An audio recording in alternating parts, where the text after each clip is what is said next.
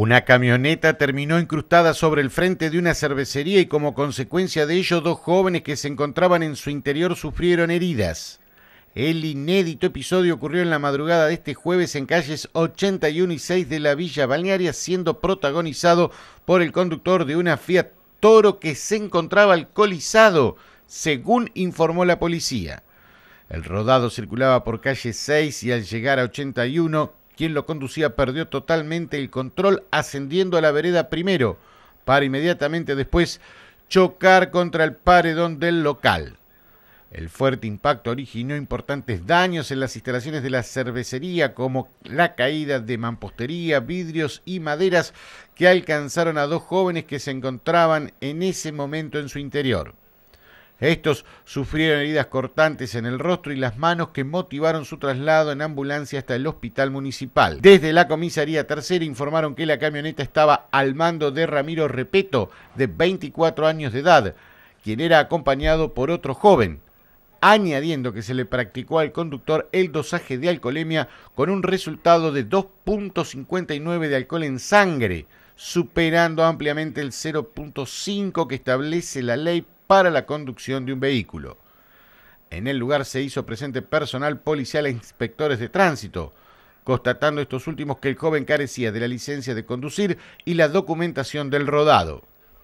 Esta mañana, los jóvenes que resultaron heridos, Ezequiel Sagüez y Blas Alonso retornaron al lugar del siniestro y aún no salían de su asombro ante lo sucedido, resumiendo ello en una sola frase.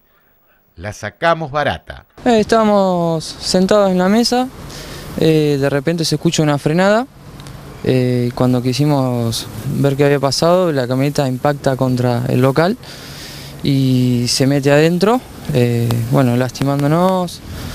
Tuvimos que correr a, a salir porque teníamos miedo de que la camioneta explotara, se había metido mucha gente. Decían, viste, que iba a explotar la camioneta, aparte teníamos un susto, en ese momento teníamos un susto, la verdad, teníamos un susto tremendo.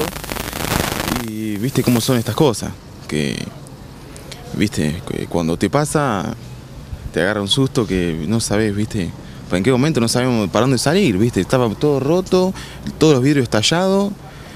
Y bueno, la verdad que la sacamos barata. La verdad la sacamos barata porque ¿viste? Hubiera sido, hubiera sido peor.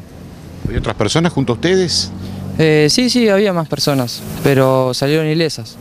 Justamente nosotros estábamos ubicados en la parte donde la camioneta impacta contra la ventana y nos salva el paredón que ves ahí, porque si no, creo que no la estaríamos contando hoy.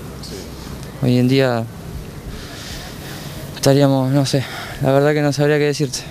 No, viste, la verdad fue un, un susto tremendo y y bueno, queremos que, viste, que salga todo bien y, al chico este, bueno, eh, ya lo, encontraremos acá en Cochea. Ya, ya, digamos, es chica la ciudad y hablaremos con los padres o con alguien que se haga responsable, porque a nosotros nadie nos preguntó cómo estábamos, ningún familiar de él, nada.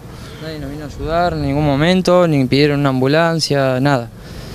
Eh, más, nos llevó un compañero, nos llevó al hospital donde nos pusieron puntos, eh, nos atendieron muy bien, pero bueno, eh, de parte de la familia de él no, no se acercó nadie. El conductor fue demorado por algunas horas y con posterioridad recuperó la libertad. La magnitud del siniestro poco tiempo después se viralizó en las redes sociales con fotografías, videos y numerosos comentarios. La camioneta fue secuestrada y trasladada hasta la seccional tercera, donde se dio inicio a un sumario que por ahora está caratulado como lesiones culposas y daño.